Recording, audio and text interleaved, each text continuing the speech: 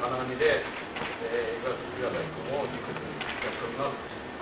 また、この辺のあれは、まあ、えー、岩崎君、効果。あはい、ただ、まあ、あの今回ちょっとあの、藤井選手が、えー、1回目のグラスなのかな。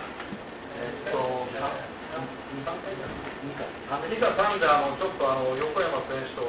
横山真の弟の方ですけどもやった時に、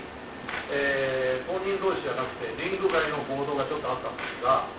えー、でも彼は本当にファイターとして、えー、素晴らしいですし、えー、またガリュー選手に、まあ、本当にまたゴムにちょっと行っちゃって横山も頼みますまた、えー、藤も頼みますということで、えー、試合を進めることができました。はいであとは、まあ、あ、はい、はい。えー、まあ、もともと、まあ、藤井選手の方から、まあ、ちょまあ、憧れの選手がいるって話を聞いてまして、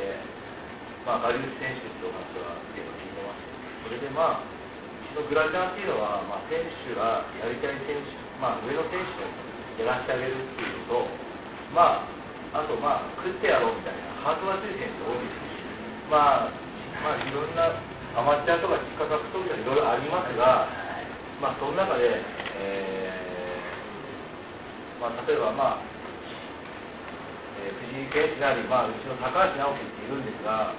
えー、高橋は手同歩。手同歩。ルポごめんなさい。ごめんなさいね、これね。が、まあ、はっきり言っても、明らかに、普通の団体ではありえないだろうというカードだと思うんですよ。まあ、昨日もクラウドキープで、ジャンプを買ったらしいですし、まあ、戦国、あの、SRT では、あの臼田選手にも勝ったっていう選手なんですが、まあ、他のとこ違って、うちはまあ実力があっても、食ってやろうとか、まあ、ハートでは負けないぞっていう人多いですそういった部分を、えー、生かして、えー、希望、夢とかを与えてあげたい団体をしたいと思っておりま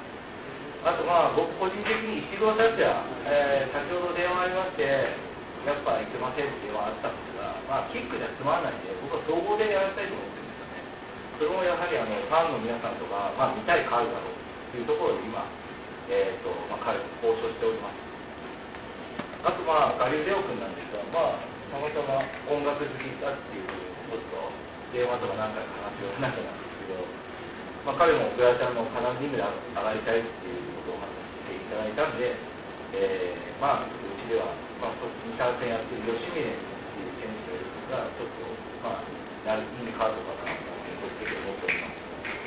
えー、あとは、えー、まあ、ある、なんとかサイダーっていうところからですね、えー、直接私に連絡がありましてね、えー、僕はプロを目指したいから。